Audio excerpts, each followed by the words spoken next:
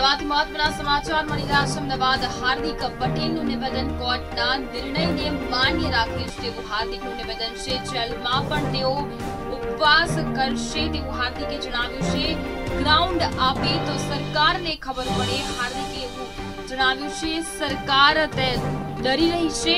સમર્થકોને રોકવાના જે પ્રમાણે પ્રયાસો સરકાર કરશે તેવું હાર્દિક કહી રહ્યા છે. તો કોર્ટના નિર્ણયને તેઓ માન્ય રાખશે. જેલમાં પણ ઉપવાસ કરશે તેવું હાર્દિક પટેલનું નિવેદન છે.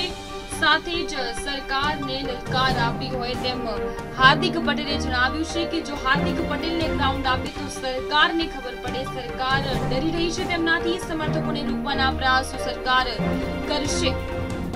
હાર્દિક પટેલનું નિવેદન સામે આવ્યું છે. કોર્ટના નિર્ણયને માન્ય રાખશે. જેલમાં પણ ઉપવાસ કરવાની તેઓએ વાત કરી છે.